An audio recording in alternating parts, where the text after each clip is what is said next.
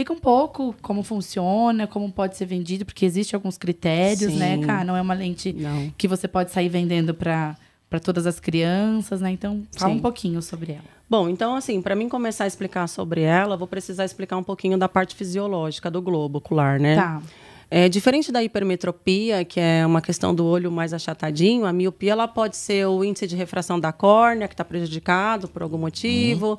Ela pode ser um ceratocone, que é a córnea pontuda, ou ela pode ser um problema no comprimento axial, que é o olho por inteiro, que é muito longo. E o que, que os pesquisadores descobriram? Né? Que as crianças, o fato de elas ficarem muito tempo com equipamento eletrônico, muito próximo do rosto, ah, o excesso de luz artificial está muito grande para elas. Sim. Então, o que, que a musculatura entende? Então, quando a luz ela entra, a criança, às vezes, ela já é um pouco míope, a imagem se forma antes da retina assim. Só que na parte periférica do globo ocular, essa luminosidade ela sai. Então, ela estimula a musculatura aí atrás. É como se o olho entendesse o que, ah, alguma coisa está saindo, então eu também vou. Tá a faltando? musculatura, é. Então, ele vai atrás dessa luminosidade, a musculatura vai expandindo. Então, para Entendi. você ter uma ideia, o normal do crescimento do globo ocular é, por ano é 0,21. Há 24 meses, o olho, o olho das crianças ele cresceu 0,51.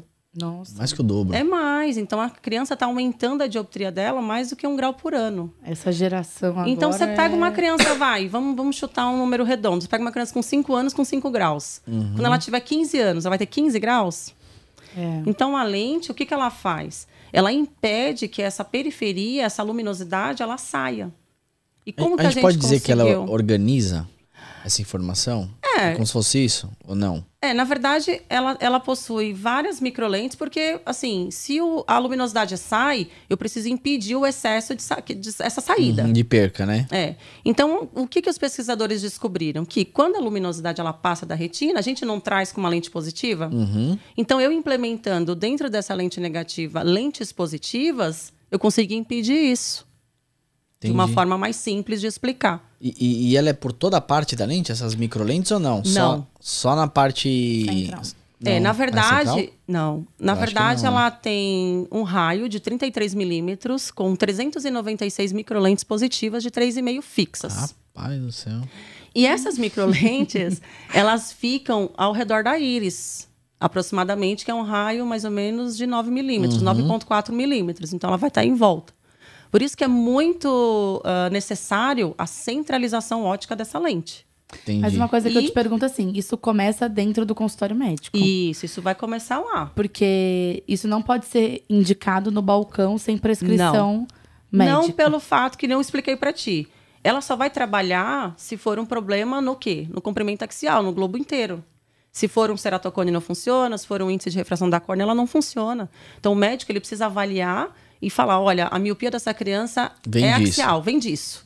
Se então, for axial, essa lente vai resolver. Se não se for, for o axial, comprimento, sim. não. Não.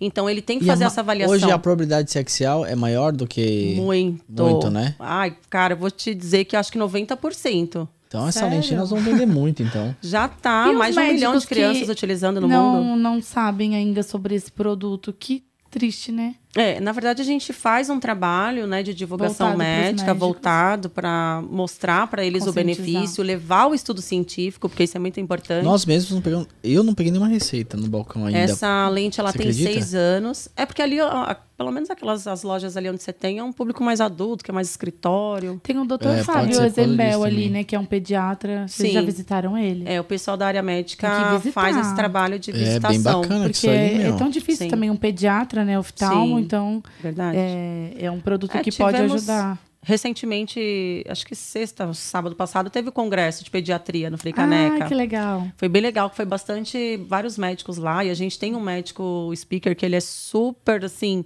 ele sabe tudo. Se você acha que eu sei, ele sabe 350 vezes mais Sim. sobre todo o estudo científico, porque ele participou de tudo, né? Porque o médico tem que fazer algum teste. Celso Cunha.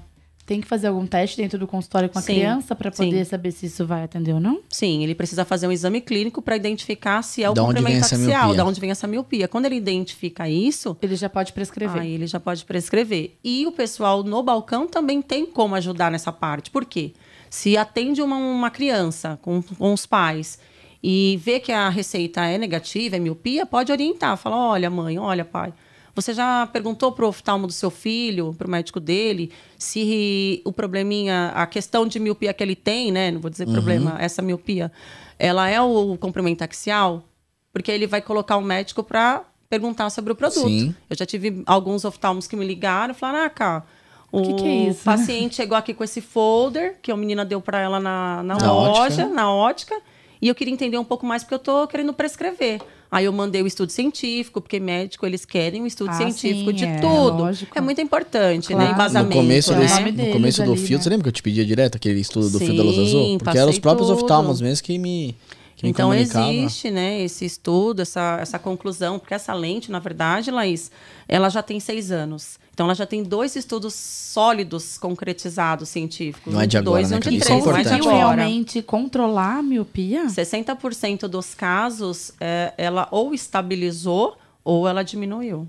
Que legal, que legal. Então, cara. essa lente, assim, ela já ganhou dois prêmios né, em 2018, numa feira na Suíça de inovações tecnológicas, e em 2020 na Silmo, em Paris, né, que a gente sabe que é a maior feira ótica do mundo, Sim. né, o Oscar da feira ótica. Ela É. também ganhou é, esse prêmio, porque ela foi eleita a maior inovação tecnológica dos últimos 10 anos. O que, que foi, Laís? calor. né? Tá calor? Liga Cê só um liga o ar-condicionado. Ela- Tô ela-. Você já percebeu que ela é bipolar, né? Ela, li- ela entrou, falou, não liga o ar, que senão ela ficou doente. Agora ela quer o Não, ar. rouca, mas eu tô ficando com muito calor. Acho que a gente tá falando muito, tô ficando É. Tá ficando ô, ô, agitado. Ô, Ká, sabe o que eu queria te perguntar também? É, a gente sabe que tem é, outros, outro fornecedor que também tá trabalhando com esse tipo de produto, né? Muito parecido. Sim. Quando eu, quando eu crio. Tá, Sim. mas assim, a gente é Não parceiro ROI. disso, Então eu queria saber o seguinte. Hoje até foi uma pergunta de uma seguidora minha, tá? O Uhum. que, que eu posso criar de diferencial quando eu falo da. Da Não falando do outro produto, mas o que, que o, o da Roya tem de diferencial para eu conseguir saltar os olhos do meu cliente lá no balcão? Além dos seis anos, que eu sei que é muito mais do que o Sim. outra questão de estudo, É, né? O estudo científico ele tem uma importância muito grande, porque a amostragem do estudo é importante, os resultados são importantes, então não, não, não tem como eu ter um estudo sólido se eu não divulgo todos esses dados. E médico, eles querem os dados Uhum. E o, e o paciente também. Então, essa lente, para diferenciar, primeiro que ela tem um estudo científico mais longo, seis anos, o outro tem dois. Uhum. É, a comprovação, a quantidade de pacientes que utilizaram no estudo foi maior, tá? Tá. Ah, o custo-benefício é melhor. No e Brasil, você falou que já tem um entrega. milhão. É no Brasil que tem um milhão já de crianças? Não, mundialmente, mundialmente falando, já tem um milhão. já tem mais. Na verdade, assim, o ano passado tinha um milhão, então eu acredito deve que ter já, muito mais agora, já né? tenha muito mais, porque tá, é, assim, eu, tem é, países da Europa que o a, a produto número um de venda Roy é Mais Smart.